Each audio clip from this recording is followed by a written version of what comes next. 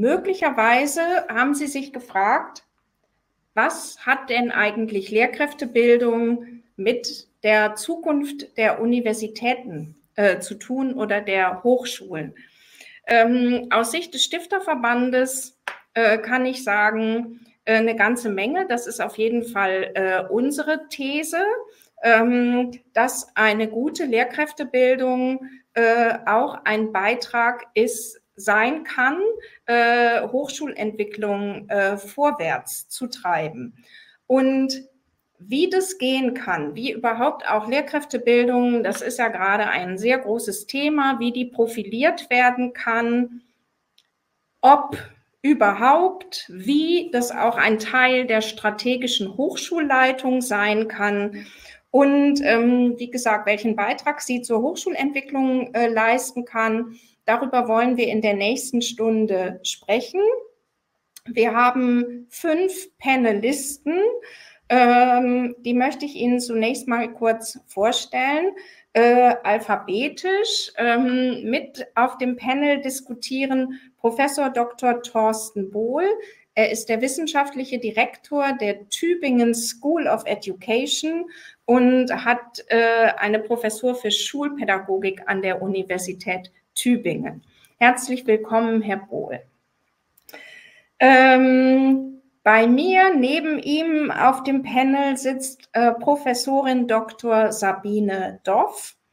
Äh, Sabine Doff hat eine Professur für äh, Fachdidaktik ähm, der englischen Sprache an der Universität Bremen.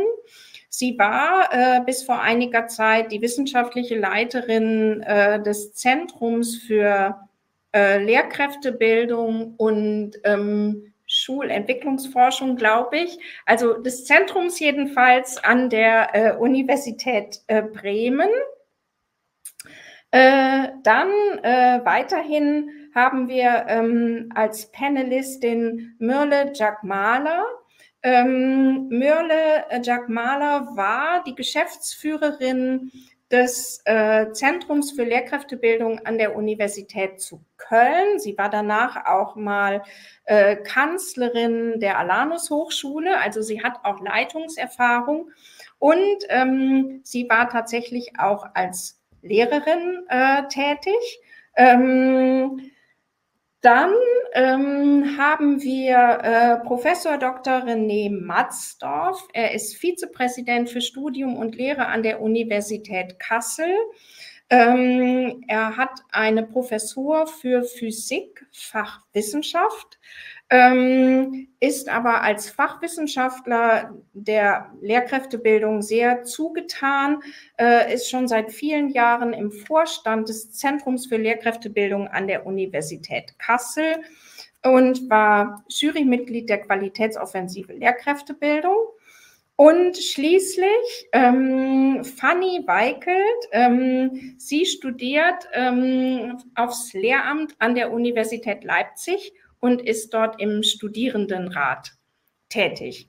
Herzlich willkommen nochmal an Sie alle. Und dann äh, sehen Sie alle noch ein weiteres Bild ähm, von meinem Kollegen Andreas Wormland. Und Andreas Wormland äh, wird Ihnen jetzt kurz erklären, wie Sie sich an dieser Session beteiligen können. Andreas. Ja, herzlichen Dank. Äh, auch von meiner Seite ganz herzlich willkommen. Wir sind ungefähr 20 Gäste gerade. Ähm, das heißt, äh, da ist auf jeden Fall auch Raum, dass Sie sich auch mündlich beteiligen können ähm, zu einem, zum, ja, zum späteren Zeitpunkt in, in unserer Veranstaltung. Sie sehen auf der rechten Seite einen Chat.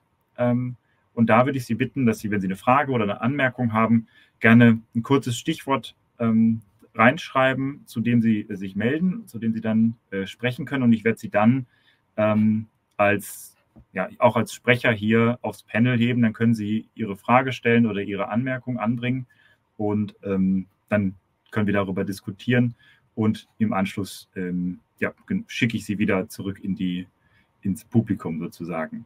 Ähm, genau, eine Ankündigung muss aber über den Chat äh, stattfinden, sonst ähm, weiß ich nicht, dass Sie etwas sagen müssen, äh, möchten. Und ich würde mich jetzt auch äh, hier vom Panel äh, entfernen. Viel Spaß. Herzlichen Dank, Andreas. Ähm, Herr Matzdorf, Sie haben ja verschiedene Perspektiven auf die äh, Lehrkräftebildung. Ähm, als Fachwissenschaftler sind Sie ja auch an der Lehrkräftebildung beteiligt im, äh, im Fach Physik.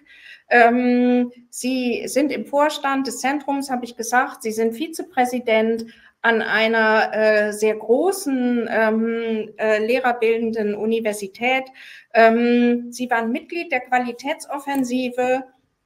Ähm, reicht das denn jetzt nicht eigentlich? Also es müsste aus Ihrer Sicht die, ähm, also worüber reden wir überhaupt? Besteht da Gesprächsbedarf?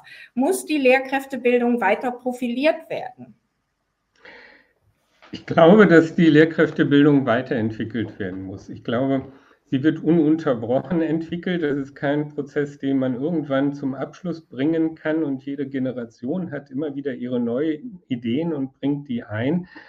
Und ich glaube, dass strukturell die Lehrkräftebildung an den Universitäten eigentlich sehr gut aufgestellt ist. Mit den Zentren für Lehrerinnenbildung und mit den Schools haben wir etablierte Strukturen und so wie ich das in der Qualitätsoffensive Lehrerbildung äh, kennengelernt habe, sind die gut vernetzt, auch mit den Hochschulleitungen und können eigentlich ihre Aufgaben gut erfüllen. Wir haben auch diese Vernetzung zu der zweiten Phase und so weiter. Ähm, insofern sehe ich die Lehrkräftebildung eigentlich sehr gut aufgestellt. Wo ich ein Problem sehe, ist eher in dem Beruf selbst und auch in dem Studium selbst. Ich glaube, wir müssen Dinge verändern, damit wir weiterhin genügend Lehrkräfte in den Schulen haben werden, dass sich junge Leute für den Beruf entscheiden. Und ich glaube, wir müssen die Menschen entlasten, die sich diese Aufgabe vornehmen. Und äh, meine provokante, sozusagen, mein provokanter Vorschlag an dieser Stelle wäre, die Option einzuführen, auch einfach Lehrkräfte äh, zu ermöglichen, in Deutschland. Ähm, das muss nicht heißen, dass das alle so machen. Es kann auch beide Varianten geben. Aber in den Bildungswissenschaften haben sich die Aufgaben so stark verbreitet. Wir haben so viele neue Dinge hinzubekommen. Man mag nur denken an Inklusion, an Digitalisierung, an Herausforderungen mit heterogenen äh, zusammengesetzten Klassen. Die ja nochmal eigentlich noch, noch viel breiter ist, die Heterogenität, als die, über die wir vor zehn Jahren gesprochen haben. Ähm, das zu managen, das erfordert extrem gute und breite Ausbildung in den Bildungswissenschaften. Aber der Inhalt, den wir natürlich den jungen Menschen mit auf den Weg geben in die, unserer modernen Welt, der ist auch unheimlich wichtig. Und ich glaube, um sozusagen das hier anzuschließen an die Fragen in diesem Panel, ähm, wenn wir einfach stärken und dafür ein anderes fallen lassen, sind die Studierenden entlastet, weil sie sich mehr auf eine Fachkultur konzentrieren können, nicht mehr so viel zwischen den einzelnen Standorten an den Universitäten hin und her pendeln müssen und den Fachwissenschaftsstudierenden und den, Lehr äh, den Professorinnen und Professoren, die im Fach unterrichten. Das wäre mein Einstieg für eine Diskussion. Herr Matzdorf, vielen Dank. Ähm, ich möchte ähm, später nochmal auf die Frage zurückkommen, wie das die anderen äh, Teilnehmenden hier auf dem Panel, aber auch ähm, in der Session sehen ob die Zentren ähm, struktur, also oder ob die Universitäten wirklich strukturell gut aufgestellt äh, sind. Ich kann mir vorstellen, äh, dass das nicht von allen so geteilt wird. Aber lassen Sie uns einen Moment beim Einfachstudium äh, verbleiben. Ähm, besteht nicht die Gefahr, provokante Gegenfrage, äh, dass wenn die Lehramtsstudierenden nur noch einfach studieren, dass sie gar nicht mehr sichtbar werden an den, in den Fachwissenschaften. Also, ähm, dass sie aus Sicht der Fachwissenschaften noch mehr sind wie die Studierenden, die nur ein Fach machen. Und man hat dann keine Probleme mehr. Also die unterscheiden sich nicht mehr so doll. Man muss auch nicht auf deren spezifische Bedarfe eingehen und hat das Problem so wegdefiniert. Herr Matzdorf. Glaube ich eigentlich nicht. Also alle Kolleginnen und Kollegen, die ich kenne, denen ist Lehrkräftebildung sehr wichtig. Schon wegen ihrer eigenen Kinder, jetzt mal so äh, provokant gesagt, aber sozusagen, äh, man weiß um die Bedeutung dieses Berufs äh, für die Gesellschaft, aber auch für den eigenen Nachwuchs, der ja auch aus den Schulen kommt, in die Hörsäle. Ähm, ich glaube, dafür werden sich schon alle interessieren. Und ähm, ich glaube, wenn man in den Fachveranstaltungen die Lehramtsstudierenden häufiger sieht und nicht nur wirklich in den ersten Basisveranstaltungen und die sind schneller weg, als sie gekommen sind, dann ähm, nimmt man sie vielleicht tatsächlich eher stärker wahr als weniger. Sie meinen jetzt sozusagen der Unterschied zu Fachstudierenden, dass der nicht so richtig realisiert wird. Ja, dafür müsste man vielleicht auch Instrumente finden, dass man das nochmal dann herausstellt. Und man darf natürlich, muss aufpassen, dass die Fächer nicht über die Stränge schlagen und ein komplettes Fachstudium abverlangen, weil 50 Prozent für die Bildungswissenschaften sollten wir dann natürlich auch übrig lassen. Aber bei mir in der Physik ist es so, dass in einem Lehramtsstudium nur Physik bis 1920 vorkommt.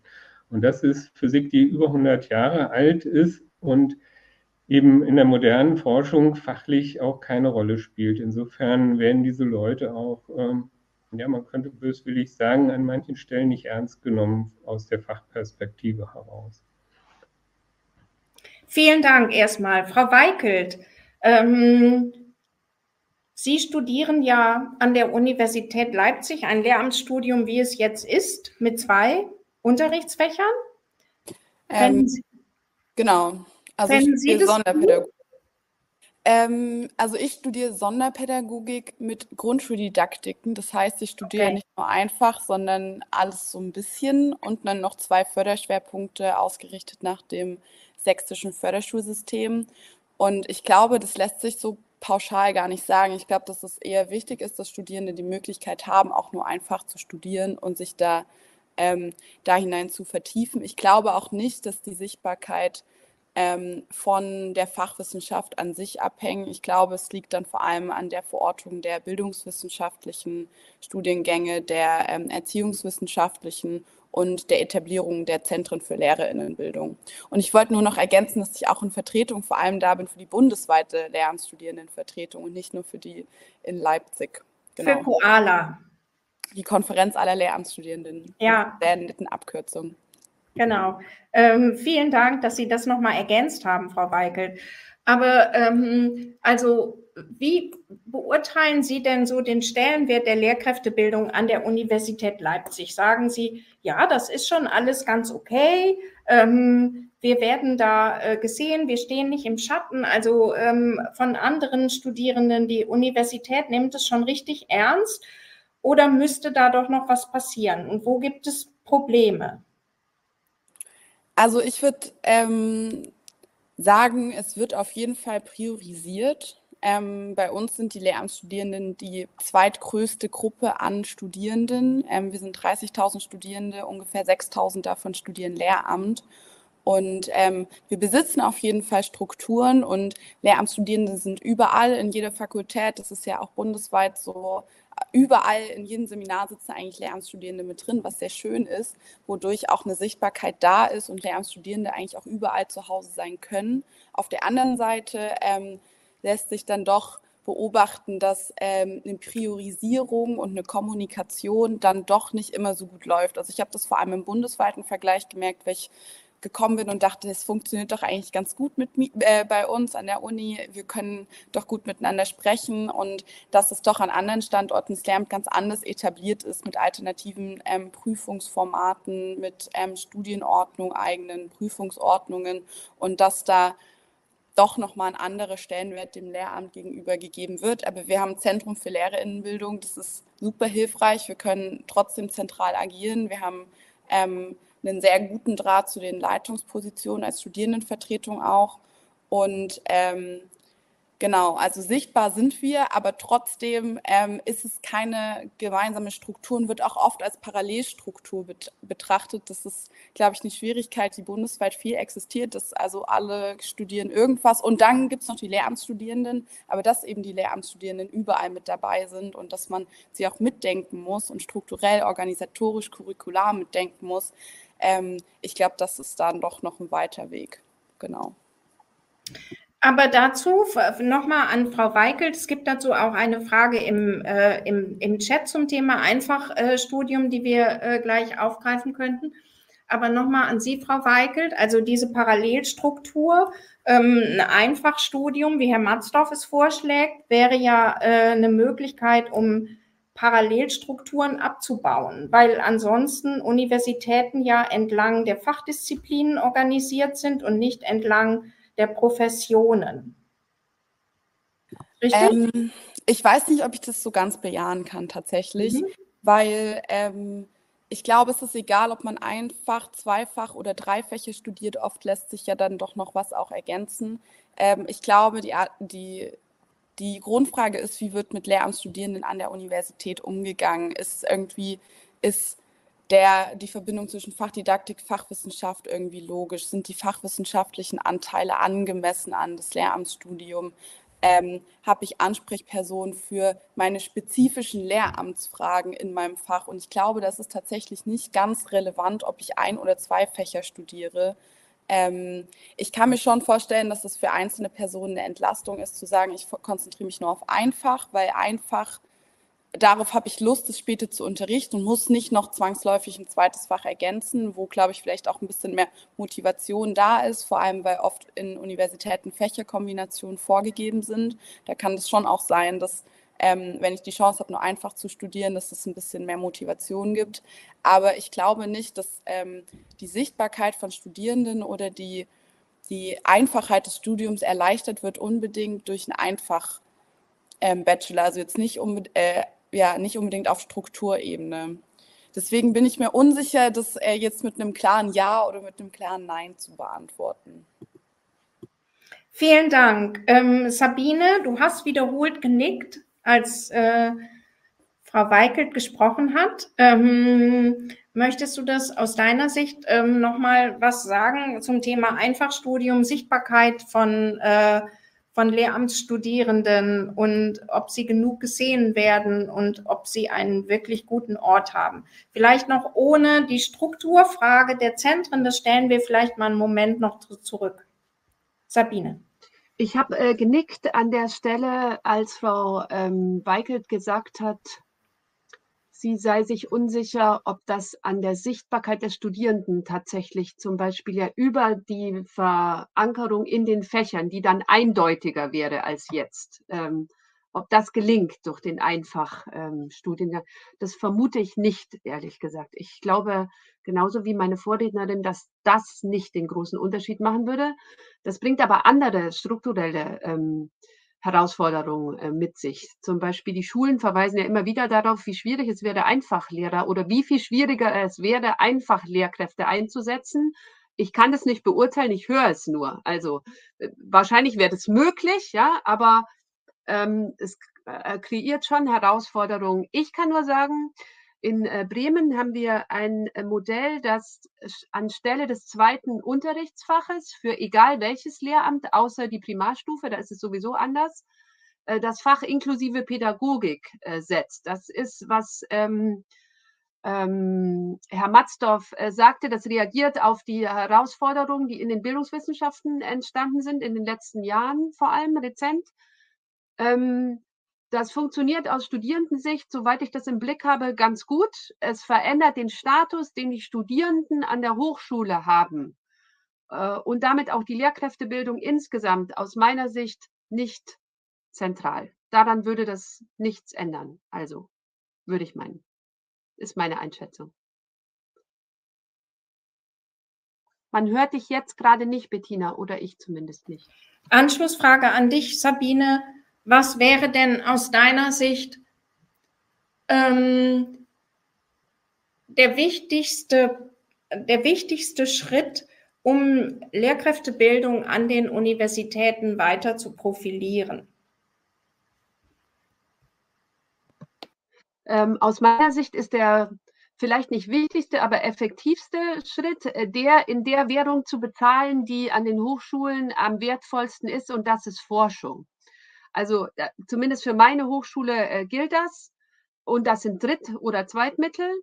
Das heißt, wenn es gelingt, die Lehrkräftebildung auch als ein Forschungsfeld integrativ äh, zu positionieren an den Hochschulen mittel- und langfristig und dann die Stärken, die die Lehrkräftebildung ohnehin mit sich bringt und die anders an den Hochschulen nicht also ersetzbar wären in der Lehre, im Transfer zum Beispiel. Ja? Also wenn man es schafft, das auch in der Forschung zu etablieren als ein äh, Feld, das äh, gleichwertig zu anderen zu sehen ist, dann wäre ähm, ein entscheidender Schritt getan, aus meiner Sicht.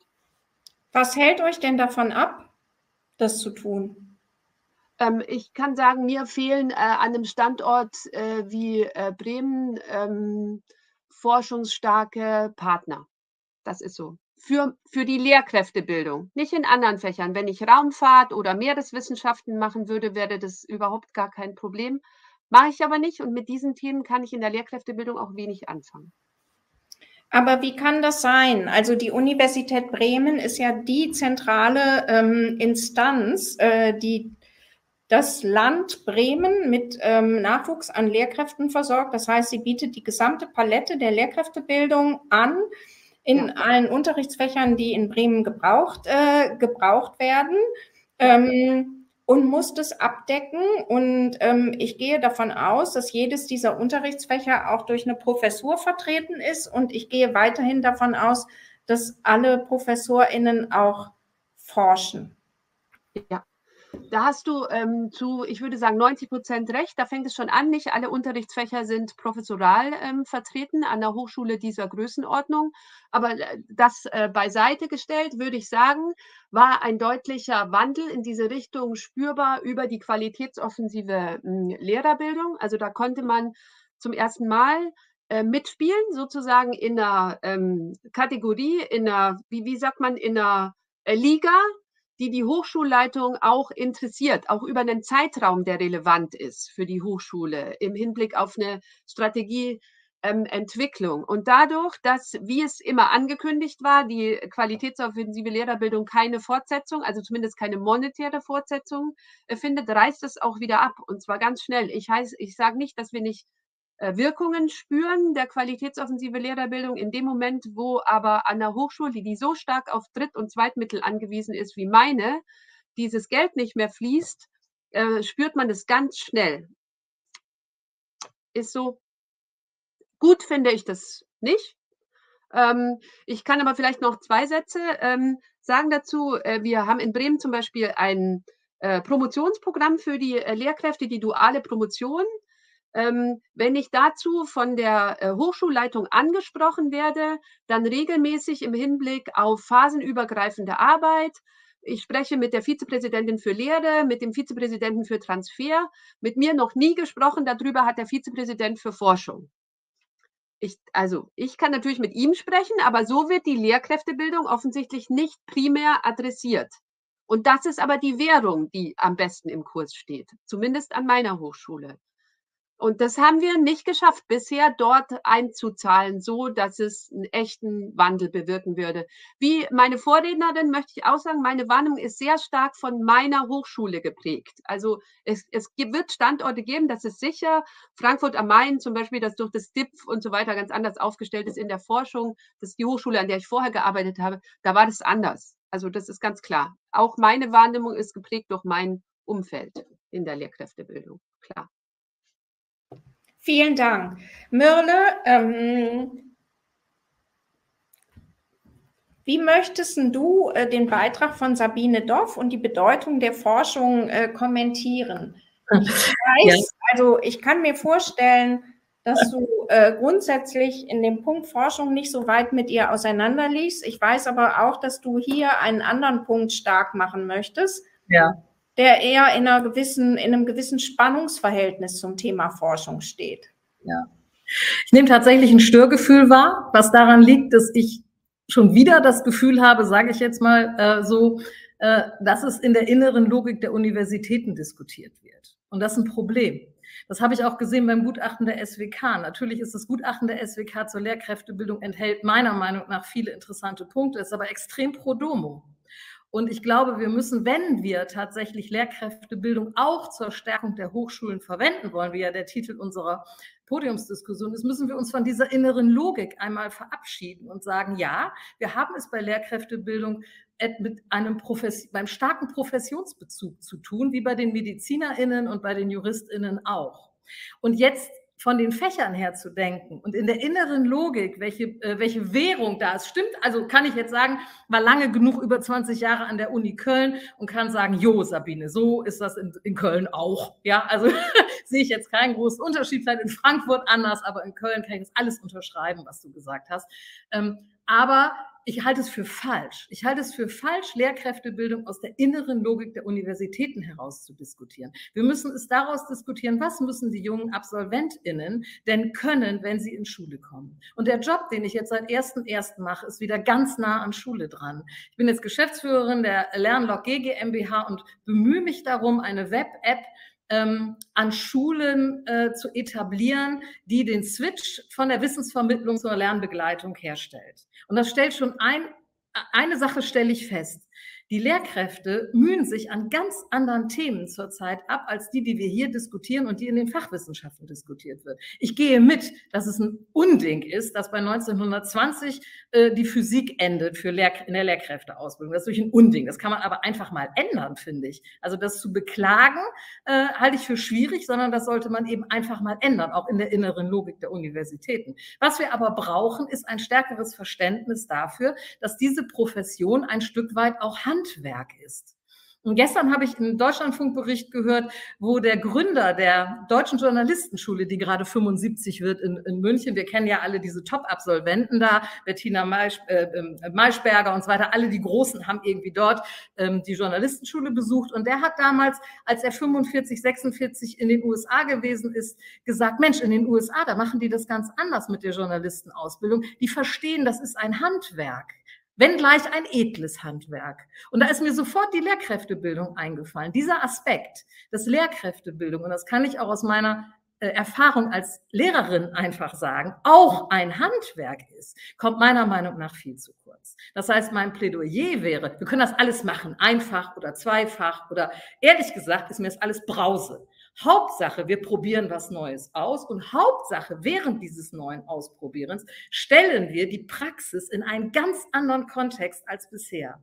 Nämlich viel stärker und direkt, und da sind wir beim Stichwort duales Lehramtsstudium und das wäre auch tatsächlich mein Plädoyer, äh, sind wir ganz schnell dabei, die Praxis und die Theorie ganz eng miteinander zu verzahnen und dann das Lehramtsstudium in seiner Qualität auch daran zu messen, ob es gelingt, nämlich nicht Lehrabsolventen zu entlassen, die dann der Dignität der Praxis, wie Tina Hascher es mal gesagt hat, erliegen und mit ihrem ganzen Studium eigentlich nichts mehr anfangen können, sondern sich ganz neu aufstellen müssen, sondern dann haben wir Absolventen, die dafür vorbereitet sind, für Diagnostik, für heterogene Lerngruppen, für Lernbegleitung. Und Sie hören schon an dem, was ich sage, ein fachliches Thema kommt bei mir gar nicht vor was kein Plädoyer dafür ist, keine Fächer mehr zu studieren, aber die Wertigkeit und die Blickweise auf das Lehramtsstudium mal anders vorzunehmen.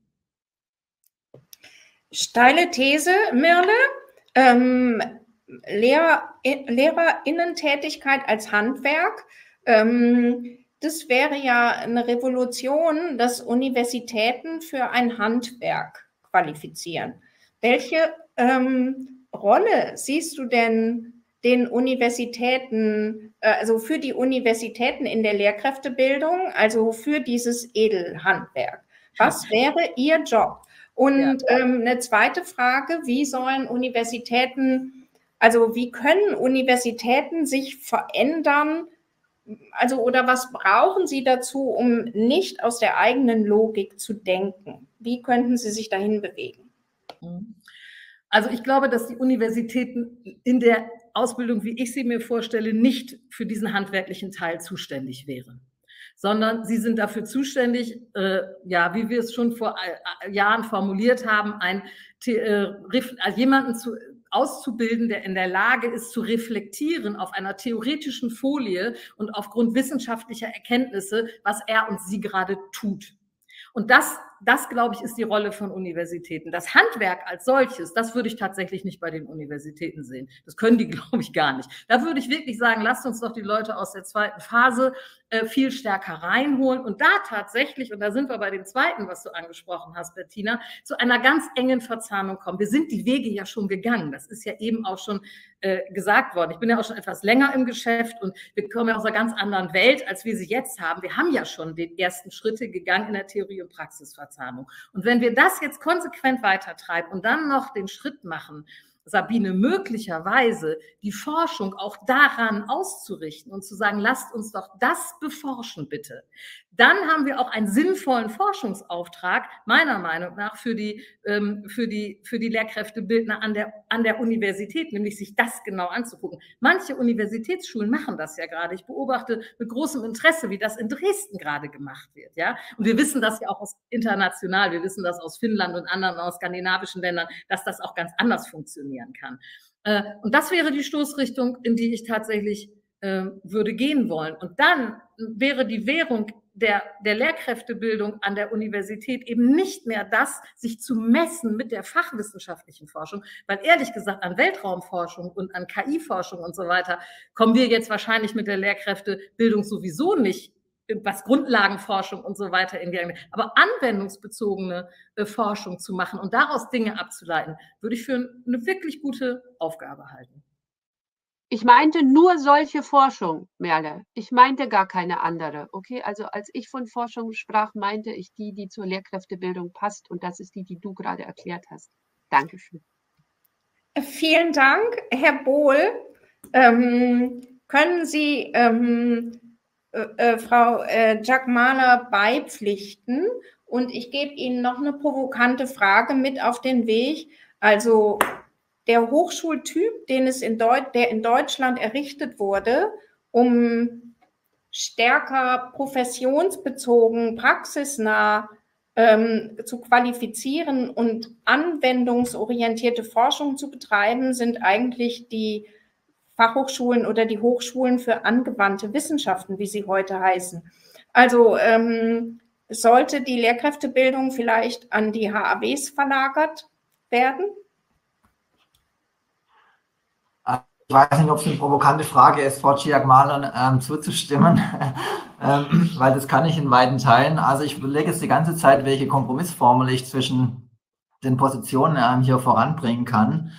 Ähm, aber ich sehe zunächst mal, ich sehe wirklich ähm, viele Verbindungen. Aber ich möchte zunächst mal klarstellen, ich bin kein Freund davon, die Lehrerbildung jetzt an die HWs zu geben. Überhaupt nicht. Das ist überhaupt nicht mein Ding. Ähm, ich finde die Nähe zu Universitäten, die ist inspirierend. Ähm, da findet exzellente Forschung statt und da, davon sollte doch die Lehrerbildung profitieren. Das ist doch die Chance, vom Umbau mal ganz abgesehen, die ganzen Lehramtsfächer und so weiter an die HAWs zu bringen. Also das sehe ich wirklich nicht, was das, was das bringen soll. Aber wir müssen die, die Hochschulen mit Zuckerbrot und Peitsche, so würde ich es mal sagen, zwingen, ähm, das, was innerhalb der, der Mauern der Hochschulen stattfindet, mehr auf den Beruf auszurichten. Und, und da meine ich jetzt nicht ein blindes, blindes, naives Praxisverständnis, überhaupt nicht. Aber ein paar Aspekte wurden jetzt schon, schon angesprochen. Wir brauchen natürlich eine, eine Forschungsorientierung Richtung professions- und praxisbezogener Lehrerbildung und ähm, Schulforschung. Das ist doch überhaupt keine Frage. Ähm, das brauchen wir auf jeden Fall. wir brauchen viel klügere Praxisverbindungen, als wir es bisher haben. Auch das ist doch eigentlich klar, da brauchen wir eigentlich auch nicht darüber reden. Letztlich steckt da der Teufel im Detail, ja. Also wie unterstützt man Lehramtsstudierende im Praktikum, ja? Wie motiviert man sie? Wie, wie kann man hier gute, kluge, auch forschungsbasierte, soweit es möglich ist, Hinweise geben? Und da finde ich, ist innerhalb der Strukturen an Hochschulen richtig viel zu holen an Verbesserungsmöglichkeiten. Und darauf sollten wir zielen. Und deswegen möchte ich aber ähm, Sabine Doff auch nochmal recht geben. Ähm, wir müssen die Hochschulen zwingen, ähm, mit Geld, unter anderem mit Geld, ähm, dass sie sich dahin bewegen. Und machen wir das nicht, dann können wir, glaube ich, noch bis auf Einzelfälle, die es immer gibt, ja, es gibt immer engagierte Rektorate in Präsidien und engagierte Leitungen von, von Zentren und so weiter. Dann wenn, machen wir das nicht, ähm, dann werden wir strukturell noch über Jahrzehnte hinweg über das Gleiche diskutieren, was wir die letzten 50 Jahre eigentlich auch schon ähm, gemacht haben.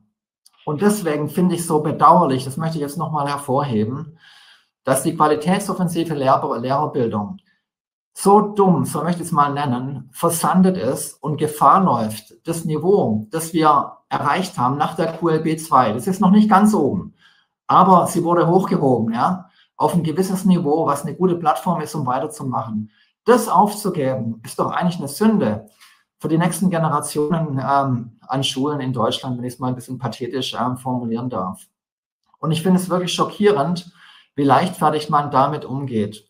Und wir müssen auch lernen, das darf ich auch noch sagen. Ähm, ich habe das zum Ende der QLB ähm, auf der Tagung in Berlin auch schon gesagt, weil es mich so geärgert hat, das muss ich ehrlich sagen, wie naiv wir Geld verteilen. Diese Ausschreibungen, wo sich dann alle dran beteiligen ähm, und so viel leer gehen, so viel nicht abgesprochen ist und so weiter und wir da konkurrierende Netzwerke aufbauen, das ist doch nicht mehr effektiv.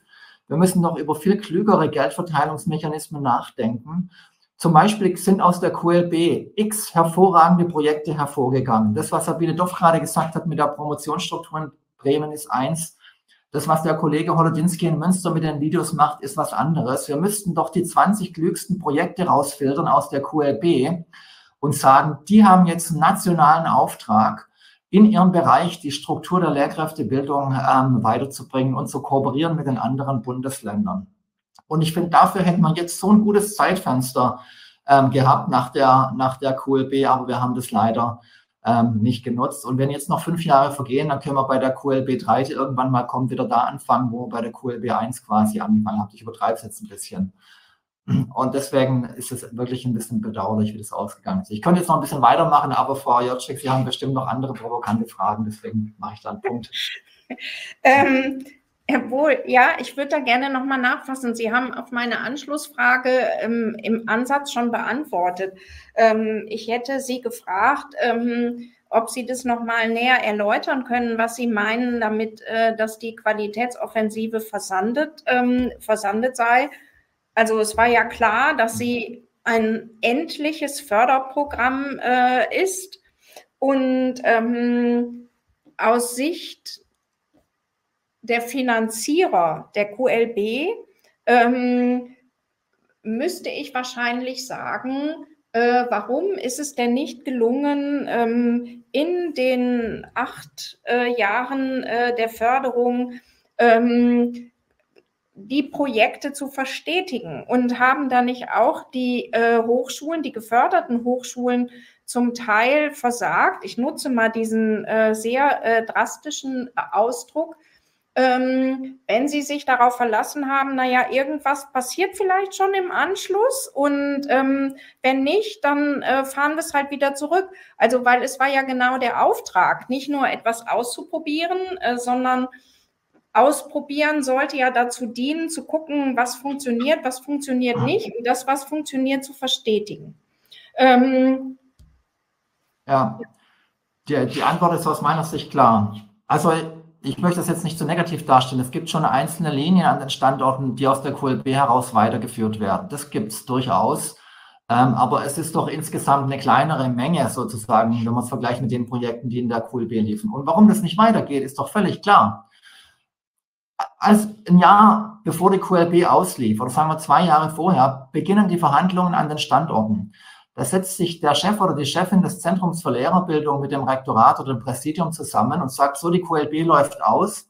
Ähm, wir haben zehn Projekte gehabt, die sind alle toll. Wir wollen das, wir, wir brauchen es unbedingt, wir brauchen eine Verstetigung. Ähm, so kann die Hochschule jetzt das nicht weiterfinanzieren, weil die Zentren an sich, die haben ja die Stellen gar nicht oder die haben ja die Ressourcen gar nicht, die müssen sich da irgendwo holen. Und dann sagt das Rektorat, je nach Standort, und jetzt könnte ich ins Plaudern kommen, dann sagt das Rektorat, je nach Standort, naja, okay, von den zehn Stellen, zwei können wir finanzieren. Andere sagen aber auch, na gut, jetzt seid ihr acht Jahre gefördert worden oder zehn Jahre, jetzt reicht es auch mal, wir müssen das Geld woanders reinstecken. Und die, die Direktorate und Präsidien, die werden ja drangsaliert von Herausforderungen aus allen Fächern mit Stellenbedarfen. Das ist ja immer ein permanentes Abwägen in den Präsidien. Wo setze ich jetzt das Geld rein? Was ist wichtig und nachhaltig? Also ich kann es auch verstehen ein, ein Stück weit. Und deswegen bricht es sozusagen in der Logik, in der inneruniversitären Logik, bricht es dann ähm, ein. Mal mehr, mal weniger, aber insgesamt bricht es ähm, deswegen ein. Die Zentren können das aus eigener Kraft und aus eigenen Ressourcen heraus nicht finanzieren. Und es ist halt in beiden Teilen, nicht überall, Aber in beiden Teilen ist es halt dann doch auch eine Personalfrage, weil komplexe Projekte, und es wird in der Lehrkräftebildung immer wieder unterschätzt, komplexe Projekte in der Lehrkräftebildung bedeutet, dass sie im Alltag Schnittstellen in, mit 25 Lehramtsfächern bearbeiten. Also wir in Tübingen haben 25 Lehramtsfächern. Wenn ich ein Thema in die Fläche bringen will, sozusagen, dann muss ich es mit 25 Schnittstellen bearbeiten und mit den Dekanen. Und das ist aufwendig und da muss ich dranbleiben, ja, und da brauche ich Argumente und so weiter und so weiter. Ähm, und das kann ich nicht, das kann ich nicht nebenher machen. Und deswegen ist es meiner Ansicht nach ähm, gescheitert. Und die, die Hochschulleitungen an den Standorten, die machen wieder mit. Ähm, wenn sie gezwungen werden mit, ähm, mit Mitteln ähm, und mit anderen ähm, Ressourcen und Unterstützungsmöglichkeiten, dann rentiert sich ähm, das wieder. Und es war auch alles absehbar und deswegen ich es so ärgerlich, ähm, dass das so quasi versandet ist. Herr Bohl, ich mache hier nochmal Advocatus Diaboli. Ähm, das äh, gefällt mir ganz gut. Ähm, ich verstehe das. Also natürlich braucht es Personal, um diese Schnittstellenarbeit zu äh, leisten. Aber das ist ja genau die Kernaufgabe ähm, in einer äh, in einem Qualifizierungsprogramm Lehrkräftebildung, an dem naturgemäß viele beteiligt sind. Und warum braucht es dafür zusätzliche Stellen? Warum können das nicht die Personen leisten, die für den Job da sind? Naja, jetzt wird es, aber Entschuldigung, jetzt wird es ein bisschen trivial.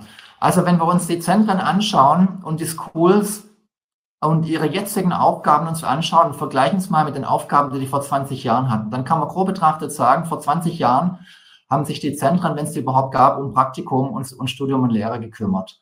So, und wenn Sie jetzt in die Schools reingehen, was die für ein Aufgabenspektrum haben, ja, da geht es um Forschung, da geht es um Nachwuchsförderung, um Qualitätsmanagement, um Evaluation, um Fortbildung. Also es ist eine riesen Ausweitung vom Aufgabenspektrum in einer ganz komplexen Grundkonstellation, wo Sie, wo Sie permanent argumentationspflichtig sind und Sie können permanent nicht hierarchisch agieren.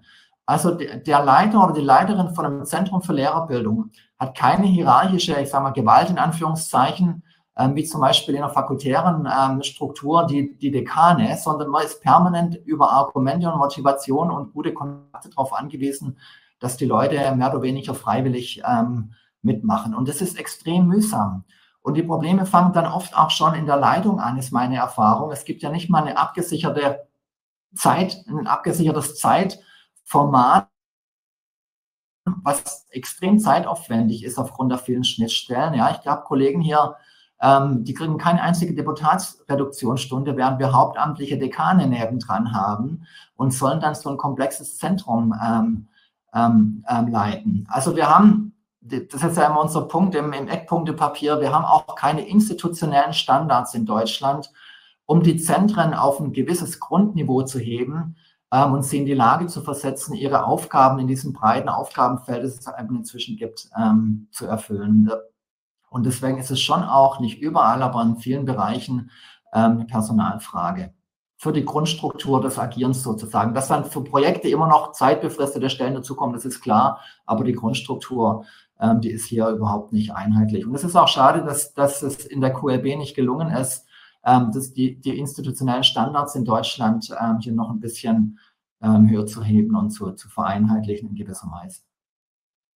Vielen Dank, Herr Bohl. Ich ähm, fasse das nochmal zusammen. Also die These, die Herr Matzdorf eingangs aufgestellt hat, dass die ähm, äh, äh Hochschulen in der Lehrkräftebildung strukturell gut aufgestellt seien, ähm, dass es die Zentren gibt, dass die auch so aufgestellt sind, dass die ihre Aufgaben wahrnehmen können, dass sie gut vernetzt sind mit den Hochschulleitungen und so. Das würden Sie nicht uneingeschränkt teilen. Habe ich Sie richtig verstanden? Ja, ich würde es nicht uneingeschränkt teilen und ich würde sagen, es gibt eine große Vielfalt und zwar je nachdem, wie engagiert die Präsidien und Rektorate ähm, für die Lehrkräftebildung sind. Und es wechselt natürlich auch mit den, mit den Personen zuweilen. Aber insgesamt würde ich sagen, wir haben national betrachtet hier ein Defizit, ja.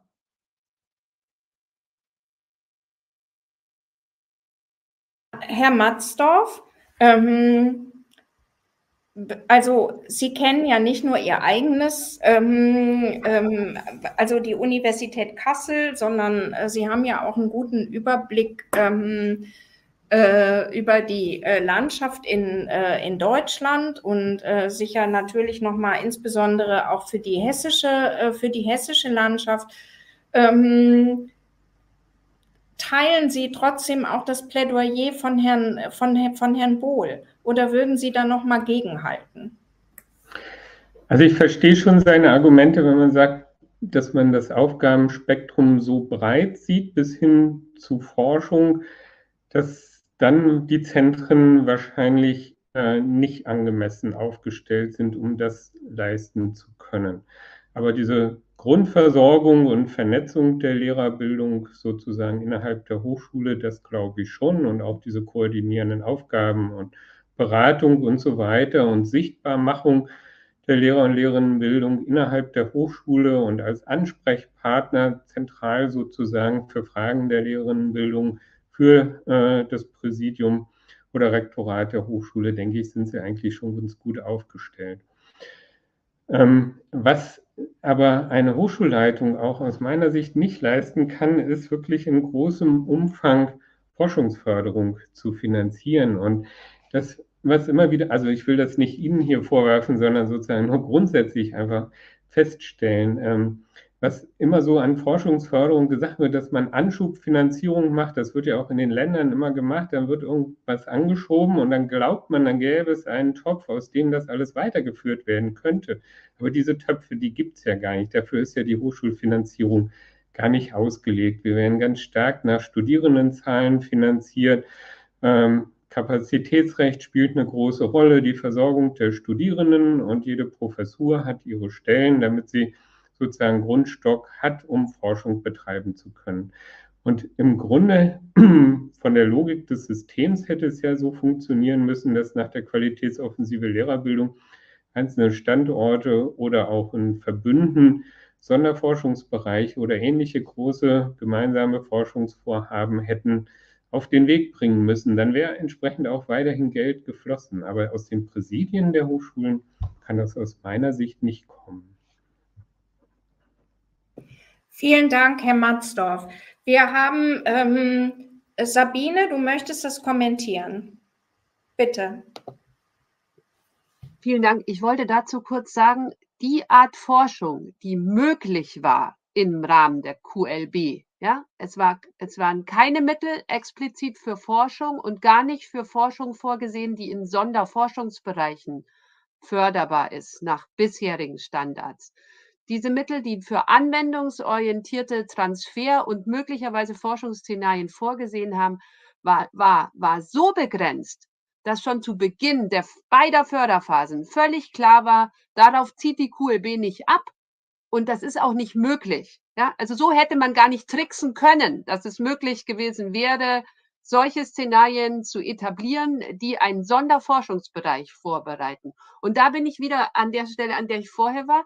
Es gibt keine, also mir ist klar, dass die Hochschulen diese Mittel nicht vorhalten können. Das, das ist mir total klar, Herr Matzdorf. Also das, das erwartet auch, also zumindest hier am Standort niemand. Aber die äh, Mittel auch von außen, also entsprechende Förderlinien, die geeignet sind, um das von außen zu holen, was über die QLB bisher kam, um den Standard zu halten, den Stellenwert, ja, um so einen Status zu haben als Lehrkräftebildung an der Hochschule, die die ganze Hochschule stärkt, den ich brauche, die gibt es nicht, diese Linien. Also ich, ich wüsste gar nicht, wo sie, ähm, wo sie verfügbar wären und vor allem anschlussfähig an das, was die QLB gefördert hat. Die hat nämlich was anderes gefördert. Die hat phasenübergreifendes Arbeiten explizit gefördert. Die hat den Aufbau von Strukturen zum Beispiel äh, gefördert. Die hat ähm, Wege gegeben, um die Governance von Lehrkräftebildung an der Hochschule zu stärken. Das ist alles passiert. Aber ich bin äh, zu ganz weiten Teilen bei Thorsten Bohl. Das ist in den letzten anderthalb Jahren, hat man gesehen, wie schnell das ist, wie wenn aus dem Luftballon die Luft rausgeht. Ja, wenn sie unten wieder aufmachen, geht der raus. Zack. Und das passiert mit den Ergebnissen der qualitätsoffensive Lehrerbildung jetzt gerade. Und ich glaube, das Zeitfenster, um sowas zu etablieren, was Merle vorhin so schön entworfen hat, ja, das ist jetzt. Das ist seit die QLB aufgehört hat und das ist jetzt vielleicht noch, ich weiß nicht, ein, zwei Jahre offen. Da kann man, da rettet man das noch, ja. So ein bisschen Luft ist noch drin, ja. Jetzt müsste man noch mal reinpusten, ja. Aber aus eigener Kraft geht das nicht. Und ich bin äh, bei Herrn Matzdorf, die Rektorate können es auch nicht und die Präsidien. Und es ist auch nicht umfänglich ihre Aufgabe. Ich glaube allerdings, um auch an das anzuknüpfen, was unsere studentische Vertreterin hier gesagt hat, die ähm, äh, Gruppe der Lehramtsstudierenden ist auch an meiner Hochschule, je nachdem wie die Zahlen so gelesen werden, entweder die größte oder die zweitgrößte, ja. Dafür kriegt die Universität viel Geld, dass sie diese äh, äh, Studierenden ausbildet. Und das Interesse ist größer denn je bei äh, der jetzigen Situation mit der Versorgung von Lehrkräften. Äh, das ist so ein anderer Hebel, auf den man die Hochschulen noch mal deutlicher aufmerksam machen könnte. Wie, weiß ich allerdings auch nicht so ganz genau, bräuchte ich wen wie Merle hier, dass man sagt, hört mal, ihr kriegt ganz viel Geld. Ja, schon dafür, dass ihr die Studierenden, große Gruppen von Studierenden grundständig ausbildet. Hm, gebt uns davon mal mehr in solche Aufgaben, die wir hier besprechen. Und ich kann letzter Satz was sagen, wo es in der Qualitätsoffensive funktioniert hat. Es gab so ein Jungtim. Also man hat gesagt, bestimmte Stellenanteile müssen die Hochschulen verstetigen, damit sie gefördert werden in beiden Phasen. Die waren minimal, aber die gab es, ja. Ich würde für eine QLB 3, wann auch immer sie kommt, empfehlen, dass es 50 Prozent sind, ja, nach Beendigung des Förderzeitraums. Dass die Hochschule das Geld nur kriegt, wenn sie sich danach verpflichtet, x Prozent, die größer sein müssten als das, was es jetzt war, weiterzuführen. Das wäre so meine praktische Empfehlung. Aber da müsste, wenn ich das ergänzen darf, da müsste das Bundesland auch noch einspringen, weil die, die Hochschulen schaffen das alleine ja. auch nicht. Ja, ich, äh, ich denke das immer in eins, weil mein Bundesland so klein ist, ja, aber das ist korrekt. Ja, diese Ebene muss mit rein. Ja. Vielen Dank. Myrle äh, möchte das auch noch mal kommentieren, aber ähm, mit Blick auf die Zeit, wir haben noch gut sieben Minuten. Ich möchte noch gerade, äh, es gibt zwei ähm, Bemerkungen im Chat. Ähm, die äh, hätten an anderen Stellen besser gepasst, aber wir hatten im Vorgespräch vereinbart, erstmal darf jeder äh, Panelist was äh, sagen. Äh, trotzdem, ähm, Herr Professor Sander, möchten Sie gerade noch mal ganz kurz Ihre äh, Frage stellen und dann bitte ich allen, wer auch immer sich von Ihnen dafür ähm, ähm, äh, zuständig fühlt, diese Frage kurz zu beantworten. Herr Sander.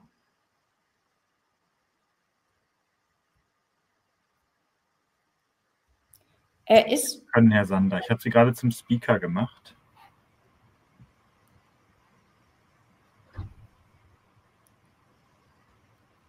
Herr Sander, oder soll, sollen wir die Frage, also es gibt, äh, es spricht, äh, die Frage ist, ähm, kann man nicht sowohl einfach als auch zweifach Lehrkräfte haben? Und in Bezug auf die fachwissenschaftlichen Anforderungen, gibt es da vielleicht Unterschiede zwischen den verschiedenen Schulfächern?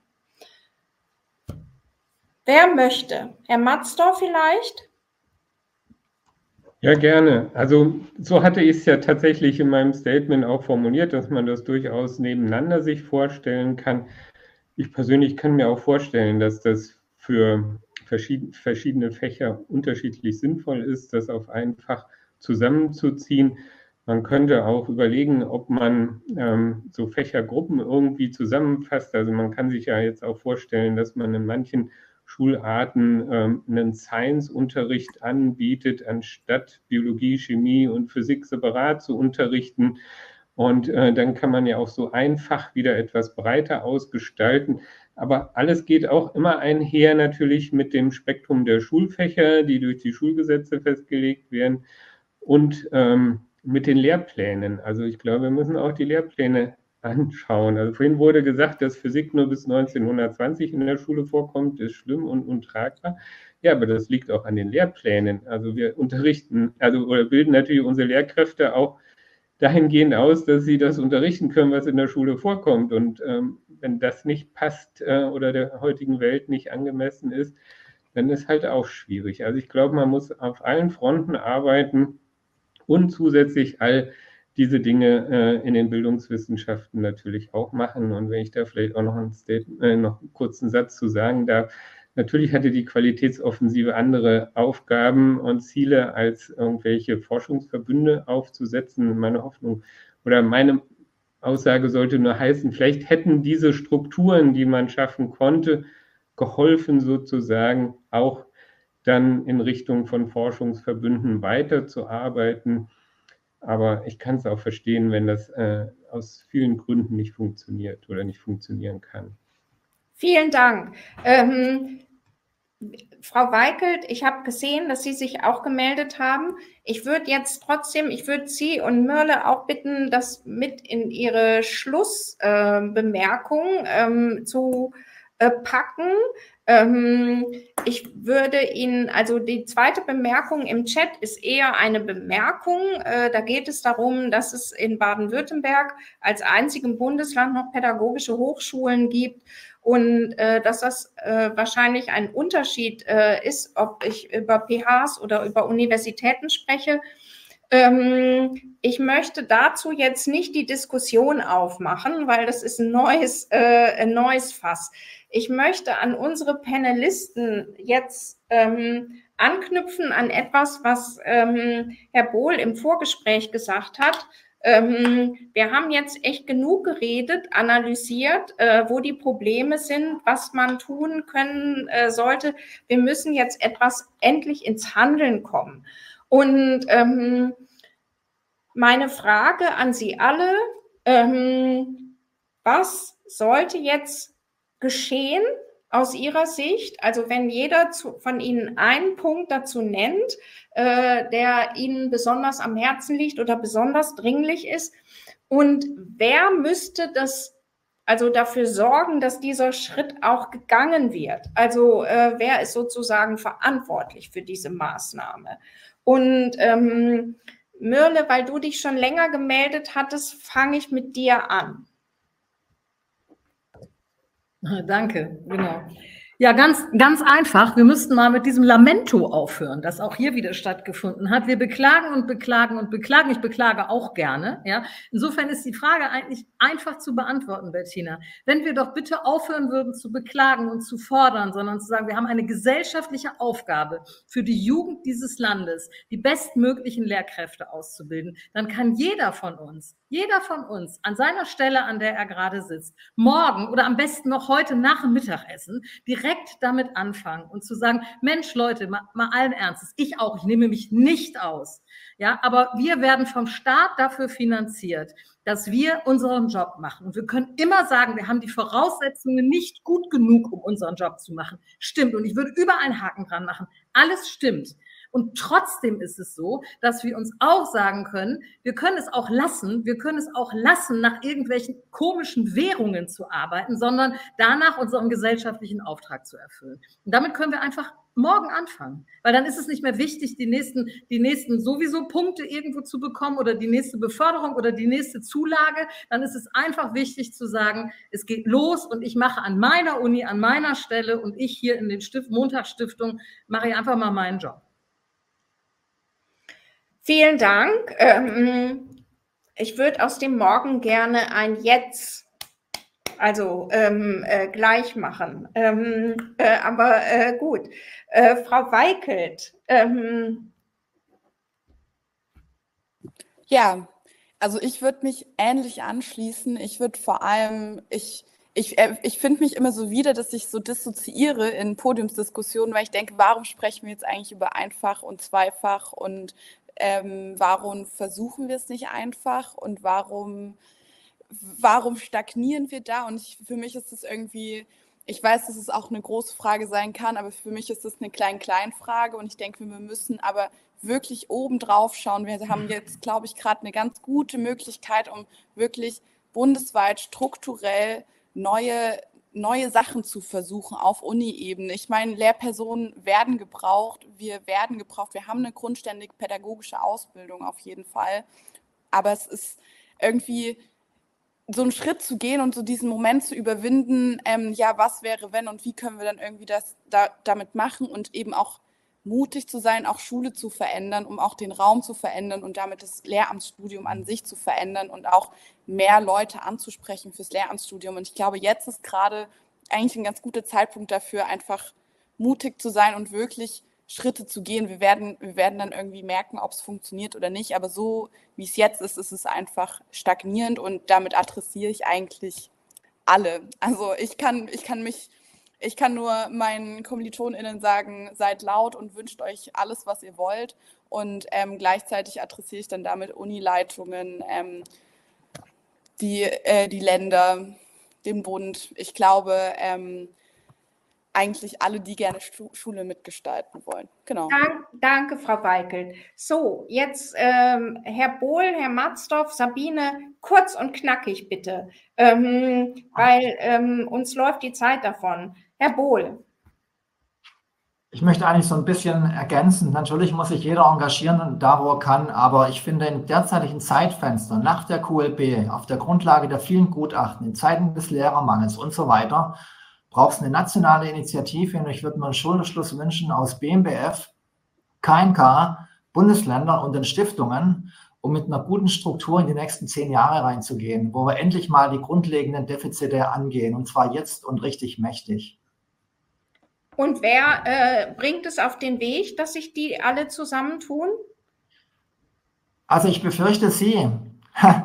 ähm, weil mit okay. dem Bund haben wir schon Gespräche geführt, mit, dem, mit der KMK gab es auch Gespräche. Da muss man in Jahrzehnten denken, ähm, bis sich da wieder was bewegt. Und so viel Zeit haben wir leider nicht. Auftrag vor.